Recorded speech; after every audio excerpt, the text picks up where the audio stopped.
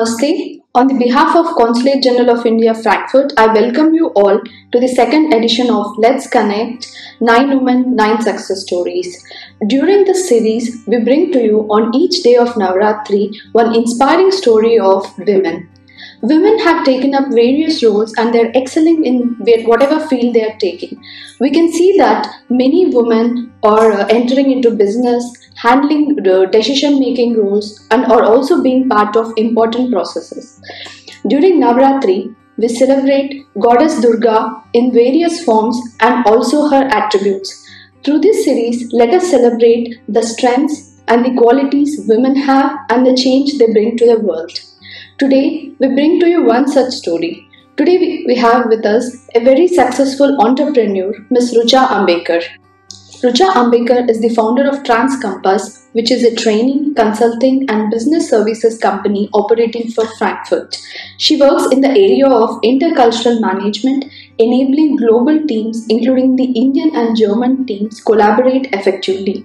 Her focus area is on training and coaching, preparing the executives, developing team building measures, and also advising companies in the strategy development part, especially in an international context with, the fo- uh, with focus on India and Germany. After working for over 10 years in corporate sector both in India and Germany, Ms. Rucha decided to pursue her masters. She worked as a research associate and also as a lecturer in the University of Kassel. During this period, she also worked on an intercultural project. Since 2014, she has been successfully conducting various intercultural projects across industry sectors as well as few academia in the DACH region. She is an avid proponent of diversity. I welcome you to today's sessions. Now let us hear from Rucha. Namaste, guten Tag. Hearty greetings to you and to our audience today on the occasion of Navaratri, where, as you said, uh, we celebrate the nine forms of Durga and through that the Adi Shakti, the primordial energy. Um, it was a difficult year last year, 2020, and these are still difficult times with uh, the pandemic. So let us pray to Devi Durga that we get the strength to uh, to make the right decisions and uh, overcome difficulties uh, in these times. Ashrita, at the outset, I would also like to thank uh, the Consulate General of India in Frankfurt for this invitation and to uh, talk about my venture TransCompass and my very personal journey um, as a woman entrepreneur of Indian origin operating from Germany. Thanks a lot, Rucha. Rucha, now may I request you to introduce uh, yourself and also your company, and we would like to hear from you your entrepreneur journey too. Um, sure. Uh, to to tell you the short story, um, I came to Germany on several business trips uh, when I was working uh, uh in a in a company in uh, back in India. Mm-hmm. So uh, I came to Germany on business trips and travels and several projects. but I decided to live in Germany when I decided to do my masters here at the university. so I came to Germany as a student. Uh, and uh, while I was doing my master's in the second year, I was weighing my options, uh, what to do next, uh, uh, what my career goes, and I wanted to work in the industry again. Uh, and the second year, my market research gave me a, a wake up call. humanities, I was studying humanities, and unfortunately, globally, humanities do not get the same recognition or same importance um, as the the, the technical subjects or technical qualifications and German employment market is uh, unfortunately not very different. There have been many efforts and things are changing. Of course, this, this was 10 years ago, uh, but really uh, starting your own. Uh, if I, I, wanted to work in the intercultural management field and in the industry, um, when I weighed my options, uh, starting your own was really the only option uh, I saw.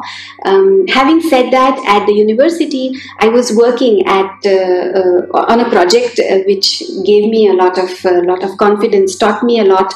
I did my trainer certification during the time Um, and I remember in 2014, uh, 5th of May, the day I will not forget when I registered Transcompass.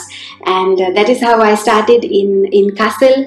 Uh, the business grew and I decided to move to Frankfurt. Uh, I did not know that Frankfurt will turn out to be such a wonderful city um, as business hub and of course as a location um, in, in Germany uh, as a business hub for also consultancies. Um, Frankfurt has been, uh, has been now the second home um, I've been living in uh, Frankfurt for five years, uh, and uh, yeah, so that is how my entrepreneurial uh, journey started uh, coming from a lower middle class uh, family, uh, not having uh, you know the entrepreneurial background or even the financial security that uh, one generally needs or looks for. Um, in retrospect, now uh, I do feel that it was an adventurous decision, um, but the the project gave me a lot of lot of confidence and you know my professional experience before before that. yeah, so that is in a nutshell uh, my my entrepreneurial journey, the start of it. Yeah, thanks, Rucha. It's very interesting to know how you, the lessons you learned during your project or something you're applying and you have set up a business out of it, and it's truly inspiring too. Now, could you please tell us about how what has your experience been uh, in settling down in Germany, setting up a business, and what what is your experience during this time? Um, settling down in any foreign country, uh, you're out of your comfort zone and everything is new. So, um, uh, not just uh, uh starting a business, but also living here, figuring out how things work um, uh, is challenging, of course. Mm-hmm. Uh, so, that was, of course, a, a very um, a joyous but adventurous journey that has been. Um, we all know that Germany, particularly, is not at the forefront of ease of doing business. So um, there is the uh, uh, you know the regulatory part of starting off business, the due diligence, the market research that you you have mm-hmm. to do yourself, uh, and connect to the right people, the experts uh, who give you advice. Um, but there is also uh, there are also intercultural aspects uh, of it. you know who um, who are your mentors? are they giving you the right you know showing you the right path? Um, all these um, aspects they need to be analyzed properly. Now I so those are my those were my lessons learned. Um, uh, setting up a business in Germany takes time. Um, of course, there are um, many agencies and many institutions now, uh, and even our diplomatic missions. Uh, all that collectively um, now it is getting much better. I would say the way it was ten years ago. Um, so I would say uh, it was adventurous, it was challenging, but it gave me a lot of insights into uh, German society, uh, how German society works, uh, what are the challenges here in the society, and how we, as uh, a part of Indian diaspora, what we can bring uh, to the society over here and you know change the culture and impact uh, in a positive uh, in a positive manner. And it's been going on. So yeah a lot yeah. of lessons learned Thanks, Rucha. I think you have covered on many important points like uh, uh, learning the system of the Germany is important, and of course, you are right. Uh, we have, nowadays we see many institutions helping the setting up the business. Of course, Consulate General of India Frankfurt is always there to help you. Yeah. Moving on, uh, setting up business in itself has its own challenges. In addition to these, did you face any challenge as a woman also? um I would say uh, setting up a business as a woman entrepreneur uh, anywhere. So there are challenges uh, as a, as a woman, um, which we all women folk um, internationally face, uh, where it comes to, especially uh, when it comes to um, women from other countries who have migrated to Germany, their visibility. Uh, if you have a genuine idea how to um, how to translate that idea into a viable business um, getting the visibility, promoting your um, your uh, product, um, and uh, talking about the financial aspects of it. Um, you know, convincing, negotiating for equal pay. These are challenges which we all women internationally face, uh, and the difficulties have reduced, but they have not disappeared. Uh, we have a very long way to go um, in that uh, particular area so i would say i wouldn't uh, uh, i wouldn't say i faced any special challenges uh, as, a, as a woman uh, uh, doing my business. Um, but i'm very aware of uh, you know the issues all women face when it comes to diversity and gender equality. Um, so i observed and i also i journal a lot and also see or reflect on um, how the market works and what are the competencies that i need to acquire as a woman uh, to succeed uh, in the field. Having said that, I also want to highlight the positive part of being an Indian woman um, operating in Germany uh, uh in my entrepreneurial journey. Um, it is a very good time to, to start uh, a business. Look at the discussions in Germany that, that we have today. So you do get, if you have a genuine idea, if you're doing good work, um, you do get recognized recognized and appreciated uh, for that. And having said that, the brighter side of being uh, an Indian woman here, um, there are wonderful networks uh, of Indian origin, uh, people of Indian origin, or also uh, international or, or, or German, um, uh, you know, networks where you connect to, which are exclusively for women. So you also get to you. I I have uh, had the privilege to uh, get connected to inspirational women who are doing, you know, great work um, for a long time. so getting connected to those uh, networks that is the brighter side of uh, you know being an indian entrepreneur uh, in germany. So it's a it's a mixed experience. It's a learning learning experience as uh, as always. Thanks, Rucha. You have rightly pointed out that, of course, we have faced few problems like a gender pay gap and all that, which is being addressed by many countries and also many institutions who are working towards it. Uh, and you have pointed out one more interesting point that we women can network together and lift ourselves up, and together yes. we can grow and achieve a lot. Yes, that's a very nice point.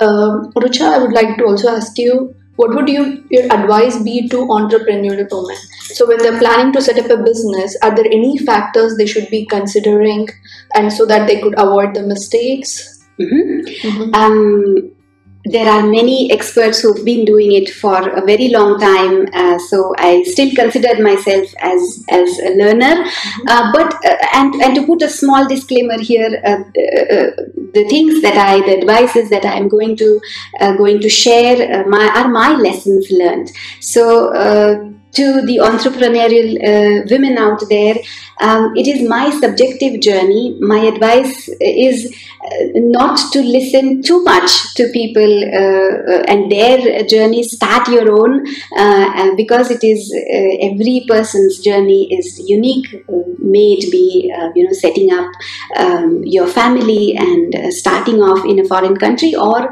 you know business aspects or employment, or whatever. So do not listen or concentrate too much on other people's story you have your own or start you know telling your own having said that there are of course um, people who uh, have been doing it. They can uh, share their experiences to avoid certain uh, very obvious mistakes that not everybody needs to go through. So on that note uh, i i just uh, you know uh, listed down a couple of mistakes mm-hmm. that i made where now in retrospect i could have avoided them or i would do it a little differently in in germany especially. Um, first of all uh, my advice to you, uh, I feel very connected to this point, is do not talk to people who only look like you or talk like you and think like you. Uh, integration and inclusion is, is the key. Um, you need to get out of your comfort zone and talk to people who also have different perspectives, um, who give you, uh, you know, real feedback. Uh, we live in, in the times of uh, social media, which is amazing. um, social media can give you a lot of um, edge, a lot of visibility. Uh, it is a great tool if you have a great product uh, for promotion of your business but the flip side of uh, our time today is you can build echo chambers and you get caught in echo chambers where, where you don't really get uh, the real feedback that you need. So getting out uh, of, of uh, that comfort zone is something uh, as fast as possible. Don't waste time there. that is my first uh, ad- advice to, to all women out there who want to start off or, or are in, in the process. Um, another thing is uh, cultural intelligence is going to be or is deciding factor for global teams. Um, understanding intercultural aspects of your business um, will give you a lot of edge. And spending time doing that. Uh, you know what is the market space that you want to get into? Um, the intercultural aspects of uh, of that market space how uh, convincing is done how negotiating is done how do you um, uh, network and collaborate? Uh, not just the language part of it is of course important but also the intercultural part of it. That is something that is very essential. So cultural intelligence is the is the key word here.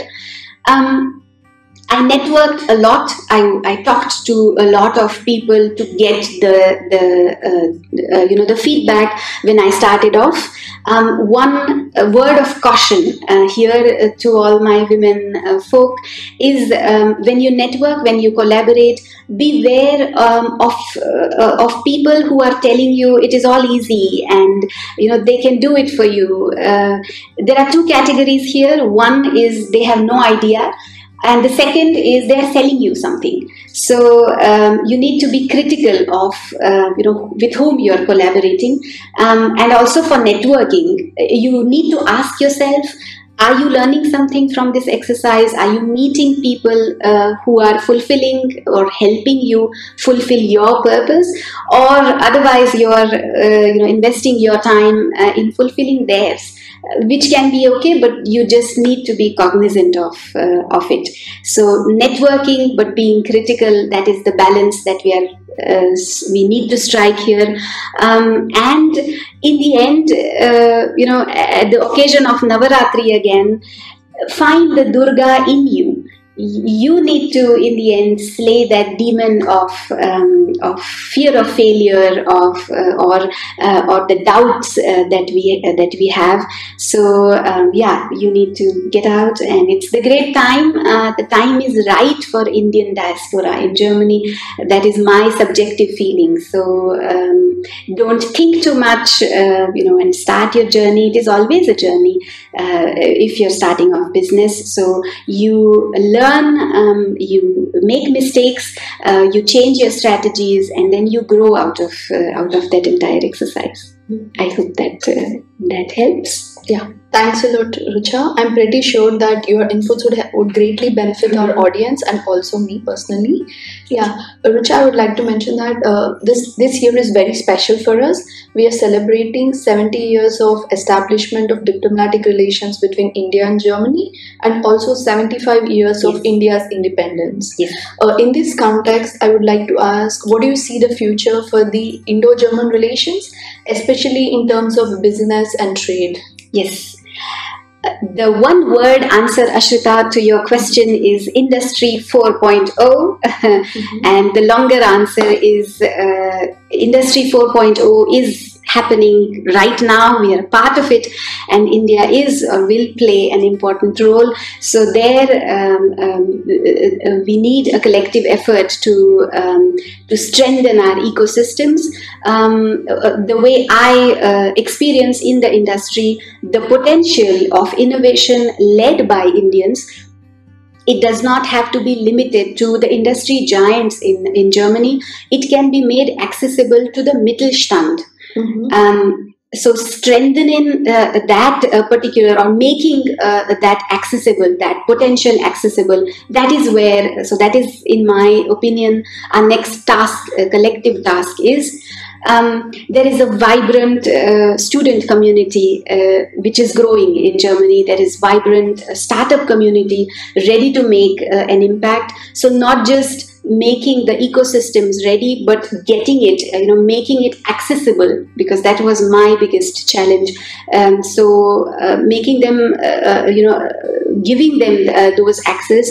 Um, uh, giving them the right guidance collectively that is our um, next task um, and of course as an interculturalist the author Adichie, I read uh, her books. It's uh, she's a Nigerian author, and uh, her TED talk uh, became very famous. Uh, so, uh, you know, as an interculturalist, I would say um, no culture and no society is a is a single story, and that is her quote. Mm-hmm. so, a collective effort is not to reduce. any society, be it German or Indian, to a single story.